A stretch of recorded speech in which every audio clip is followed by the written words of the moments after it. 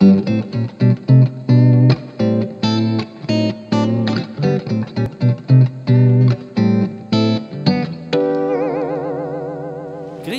Sally und Hallo. Die Rockti aus dem Vivarium ist wieder da. Zuallererst möchte ich allen, die mir im Vivarium schon einmal ein Besuch gemacht haben, herzlich Dankeschön sagen. Es hat mich riesig gefreut. Vielleicht hast du ja bei diesem Besuch auch herausgefunden, welches Tier an sich dir heute vorstellt. Er zielt, trifft und frisst. Es ist der Schützenfisch. Der Schützenfisch ist ein richtiger Revolverheld. Wie mit einer Wasserpistole schießt er mit einem scharfen Wasserstrahl auf Fliegen, Heugumper, Grillen, Ameisen und andere Insekten, wo nichts ahnend auf Äste und Pflanzen sitzen, wo übers Wasser hängen. Das getroffene Insekt geht dann natürlich ins Wasser und der Schützenfisch muss es nur noch blitzschnell schnappen und abschlucken. Viele Schützenfische sind so zielsicher, dass sie ihre Beute aus bis zu zwei Meter Entfernung treffen können. Also wenn du dir vorstellst, dass ein ausgewachsener Schützenfisch nur gerade etwa 20 cm lang wird, dann ist das also eine ungeheure Leistung.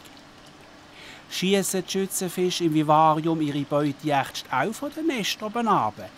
Dani, du bist Tierpfleger im Vivarium. Wie geht das bei euch? Also bei uns ist es eine spezielle Situation. Unsere Schützenfische die leben in einem Aquarium, wo man muss sich vorstellen nur halb gefüllt ist. Das heißt, unten ist das Wasser in der unteren Hälfte, wo die Schützenfische drin leben, und oben ist Land, das heißt Pflanzen.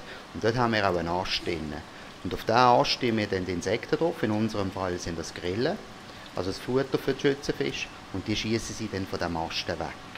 Und wie bekommt denn der Schützenfisch so einen satten Strahl an? Das macht er ganz speziell. Also für das braucht er seine Gaumen und seine Zunge und mit diesen zwei Sachen bildet er wie ein kleines Röhrchen.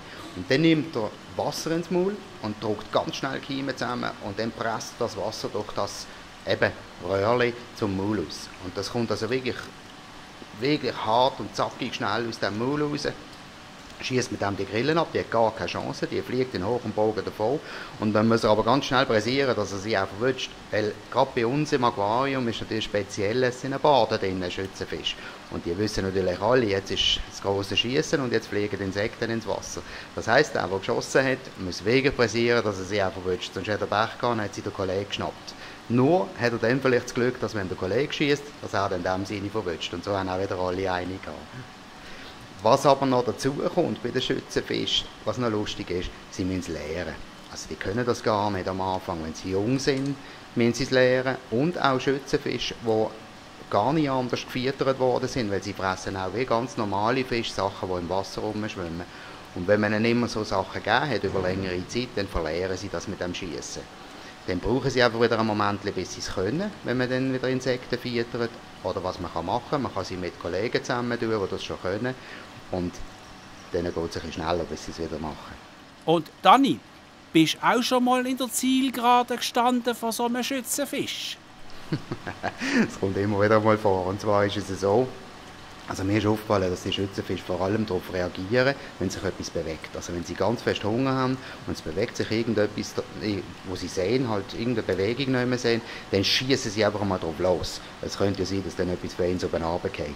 Und wenn ich jetzt vor oben rum und ich schaue in das Aquarium rein und sie haben gerade Hunger, dann schießen sie auch einfach mal drauf los und dann hat es mir also schon ein paar Mal verwünscht. Das passiert halt auch. Ist aber nicht weiter tragisch, man wird einfach nur nass. Dankeschön, Dani. Übrigens, Schützenfische sind in den tropischen Gebieten in Asien daheim. Man trifft sie dort an, wo die Flüsse ins Meer fließen, also Süßwasser ins Salzwasser fließt. Schützenfische fühlen sich also im Süßwasser und im Salzwasser wohl. Das nächste Mal hören wir dann etwas über einen Glon. Ja, ich meine aber nicht einen Zirkus, wo Burzelbäume macht und lustige Streich spielt. Der, den ich meine, lebt auch im Wasser und sieht speziell farbig aus. Orange, weiß und schwarz. Eben, wie ein Klon. Also dann, tschüss und einen herzlichen Gruß an alle rundum vom Okti aus dem Vivarium.